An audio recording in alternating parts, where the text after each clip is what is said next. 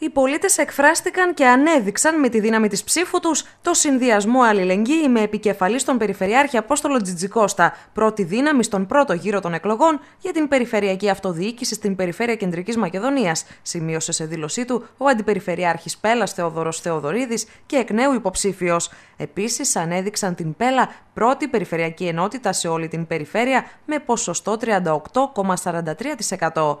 Η Πέλα μαζί με όλες τις περιφερειακές ενότητες της Κεντρικής Μακεδονίας, συνέχισε ο κύριος Θεοδωρίδης, τίμησαν με την ψήφο τους την πρότασή μας που ήταν καθαρά αυτοδιοικητική, πέρα και πάνω από κόμματα, με μοναδικό προσανατολισμό τα τοπικά προβλήματα και την οικονομική και κοινωνική περιφερειακή ανάπτυξη. Ευχαριστώ τους ψηφοφόρους της αλληλεγγύης για την αναγνώριση του έργου μας και την εμπιστοσύνη τους και τους καλώ μαζί με όλους τους ψηφοφόρους της Κεντρικής Μακεδονίας να συνεχίσουμε όλοι μαζί δυναμικά τον αγώνα για μια ισχυρή πλειοψηφία στις επαναληπτικές εκλογές της 25ης Μαΐου.